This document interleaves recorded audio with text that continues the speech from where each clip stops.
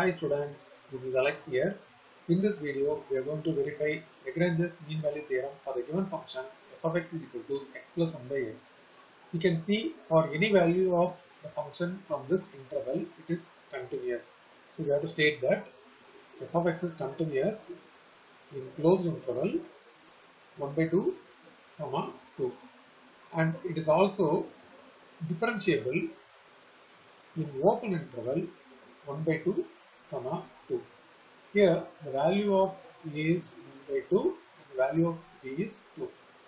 Let's find f of a which is f of 1 by 2.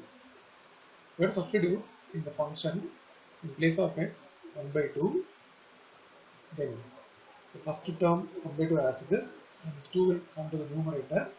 After taking LCM we get 5 by 2. In the same way, f of 2, by substituting this in place of x, 2 plus 1 by 2, again we get 5 by 2. Then we have to find f dash of x. Differentiation of x is 1, 1 by x is minus 1 by x square, and we will change in terms of c, f dash of c equal to 1 minus 1 by c square. As per the mean value theorem, f dash of c is f of b minus f of a whole divided by b minus a and f dash of c we can directly put 1 minus 1 by c square that is equal to f of 1 by 2 minus f of 2 first is f of b so f of 2 minus f of 1 by 2 whole divided by 2 minus half here we find f of 2 is 5 by 2 and f of 1 by 2 is also 5 by 2. So by replacing both the values, we get the numerator 0.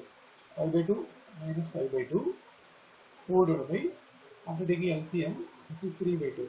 Anyway, numerator 0, so the enter value is 0. So 1 minus 1 by c square equal to 0. From this, 1 equal to 1 by c square by multiplying c square is equal to 1. So c is plus or minus 1.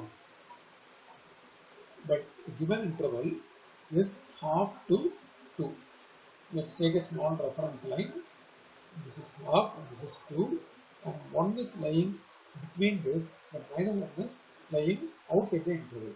So we can say c equal to minus 1 does not belong to the open interval half comma 2 but c equal to 1 that belongs to the open interval half comma 2 hence we can say mean value theorem is verified because it satisfies all the conditions of the mean value theorem